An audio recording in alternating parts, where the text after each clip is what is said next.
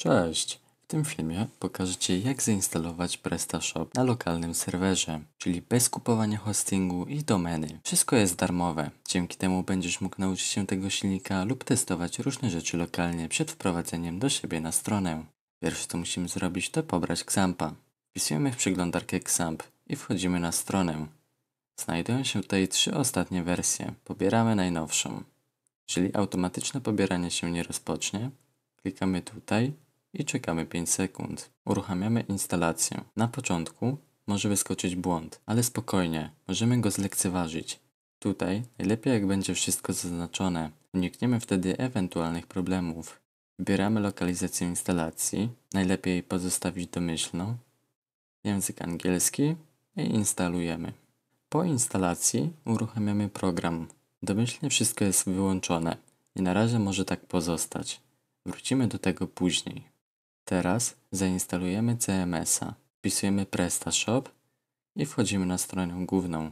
Z dolnego menu wybieramy Stwórz, a następnie Stwórz sklep internetowy. Wpisujemy maila i wybieramy profil. W moim przypadku jest to freelancer. Po instalacji możemy przejść do stworzenia bazy danych.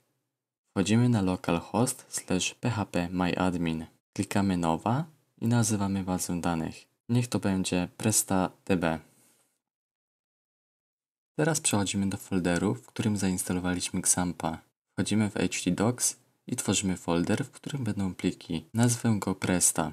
Teraz do tego folderu przerzucamy wcześniej zainstalowany silnik PrestaShop. Go wypakowujemy. Otrzymamy kolejne archiwum i je również wypakowujemy. Po wypakowaniu plików wpisujemy przeglądarkę localhost presta, bo tak nazwaliśmy folder. Teraz jeszcze trwa szybka instalacja.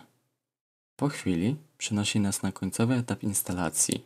Wybieramy język, akceptujemy licencję i teraz ważny moment. Musimy załadować rozszerzenie Intl. Kopiujemy sobie nazwę, następnie przechodzimy do Xampa, Apache, config, php i otwiera nam się plik w notatniku. Klikamy Ctrl F i wklejamy nazwę rozszerzenia i szukamy.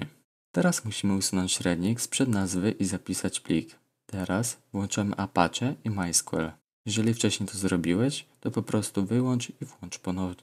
Teraz możemy przejść dalej. Wpisujemy nazwę sklepu, wybieramy rodzaj działalności, kraj. Tutaj jeżeli mamy hosting, domenę i SSL, to włączamy.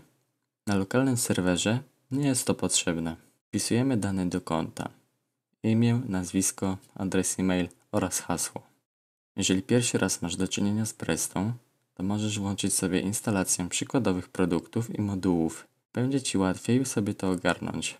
W tym miejscu wpisujemy nazwę naszej bazy danych, którą wcześniej utworzyliśmy. W moim przypadku jest to PrestaDB. Nic więcej nie zmieniamy. Teraz trwa etap instalacji sklepu. Po zakończeniu instalacji musimy wrócić do folderu z plikami. Usuwamy folder install, ponieważ jest to wymóg Presty ze względu bezpieczeństwa. Teraz możemy przejść na nowy adres za pomocą linku. Wpisujemy dane, które wcześniej podaliśmy i to koniec. Jesteśmy zalogowani do panelu Presty. Teraz bez obaw możesz zaczynać swoją naukę lub testing. Pozwól swojej firmie zaistnieć w sieci z nowoczesną stroną internetową. Skorzystaj z oferty i zwiększ swoją widoczność online już dziś. www.webmajka.pl